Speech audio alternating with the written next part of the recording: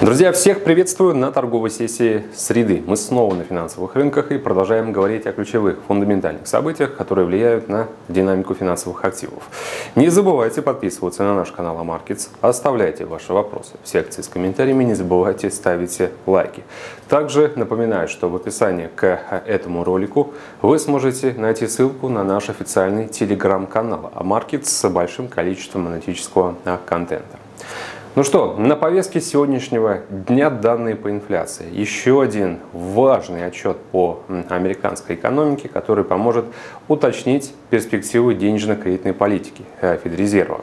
Данные по инфляции. Некоторое время назад мы э, их активно обсуждали, потому что примерно пару месяцев назад э, на них делался основной акцент и на основании, опять же, тех цифр, которые мы получали по инфляционному давлению, можно было предположить, насколько ФРС э, будет готов в ближайшей перспективе э, принять решение об ужесточении денежно-кредитной политики, то есть о сокращении программы количественного смягчения и повышении процентной ставки. Но когда инфляция существенно превысила 2%, даже с учетом действующей политики инфляционного таргетирования, мы помним, э, Федрезерв несколько позволю себе такую фразу, включил заднюю и сказал, что а инфляция теперь не э, приоритет в принятии решений по э, изменению денежно-кредитной политики. Дело в том, что э, с учетом ряда факторов и обстоятельств, которые имеют отношение к отмене карантинных ограничений, реализации потребительского спроса, инфляция реально очень сильно выросла. И Федрезерв решил немного подождать, отметив, что пиковые значения будут зафиксированы ближе к концу этого года, после чего индекс потребительских цен начнет снижаться и впоследствии в идеале стабилизируется в районе вот этих э, всем э, известных эм, ориентиров на уровне 2%. А сегодня, друзья, по прогнозу, я думаю, что следует смотреть не на основной показатель инфляции, а на базовое значение индекса потребительских цен, который не учитывает такие волатильные компоненты, как цены на нефть и на продовольственные товары. А по прогнозам 0,4% в месячном выражении против 0,9%, который мы видели, получается, два месяца назад. И годовое значение 4,3 с 4,5, то есть фактически тоже спад. Если э, мы э, по факту видим те цифры, которые прогнозируются, это значит то, что инфляция уже достигла своих пиковых значений и начала снижаться. И это можно будет интерпретировать как э, возможность для Федрезерва сейчас еще раз сделать комментарий относительно того, что не нужно и э, нет никакой необходимости торопиться с тем, чтобы корректировать текущую денежно-кредитную политику.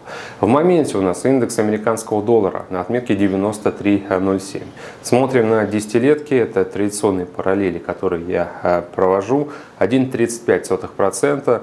Ну да, если сравнивать со значениями начала прошлой недели, десятилетки э, выросли. Но это пока что не э, тот рост, который мог бы э, стать основой для развития там, еще большего восходящего движения с целями там, по десятилеткам выше отметки 1,5-1,6%.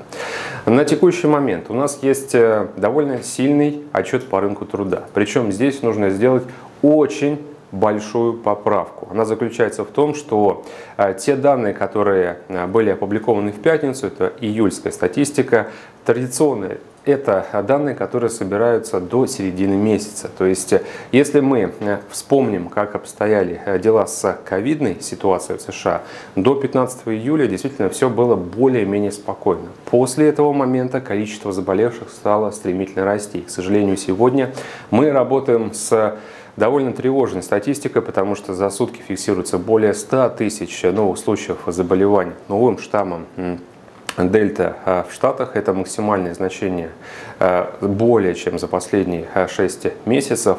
И если провести аналогию с тем, сколько было таких случаев инфицирования две недели назад, то сейчас, к сожалению, прироста уже превышает 30 или даже 40 процентов. И вот это, конечно же, Э, ситуация заставляет очень многих опасаться за то, что будет с американской экономикой дальше, если кампании по вакцинации не окажутся эффективными. Будут ли новые ограничения, будут ли новые барьеры, там, нормы э, и э, решения, которые касаются социальных, там, социального дистанцирования. То есть мы знаем то, что по многим регионам это сейчас довольно актуальная тема. Так вот, ковидная обстановка в Штатах, она заставляет сейчас Э, пересматривать прогнозы экономического роста США. И э, я думаю, мы будем правы, если предположим, что если э, рост количества заболевших, разумеется, является якорем для производственного сектора, для сферы услуг, то по итогам августа уже, когда и случился вот этот пиковый разгон числа заболевших по итогам августа мы вряд ли увидим сильный отчет по рынку труда.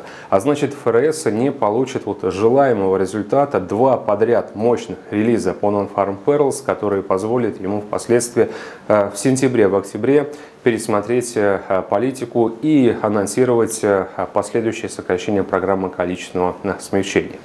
Э, делаем вывод, что инфляция сегодня потенциально может снизиться, по прогнозам мы это видим. И это, разумеется, сигнал для Федрезерва не торопиться с решением по корректировке политики. По рынку труда тоже пока что есть ожидание того, что отчет не будет таким же прекрасным, как в прошлом месяце, я имею в виду августовский отчет. Goldman Sachs разделяет точно такую же позицию, потому что, в принципе, эксперты сегодня советуют ориентироваться на цифры даже ниже по инфляции, имею в виду, ниже, чем закладывается в целом по э, рынку. И э, Goldman Sachs э, считает, что индекс доллара уже достиг своих локальных максимумов, которых мог достичь. Дальше будет снижаться, и ответы нужно будет искать уже на симпозиуме в Джексон-Холле, то есть через две недели относительно того, что с долларом может произойти дальше. Еще один момент, наверное, больше даже негативный для доллара, это согласование Сената проекта, законопроекта, ну, уже, можно сказать, фактически полноценного закона расходов на инфраструктуру на 1,2 триллиона долларов. 69 против 30 голосов.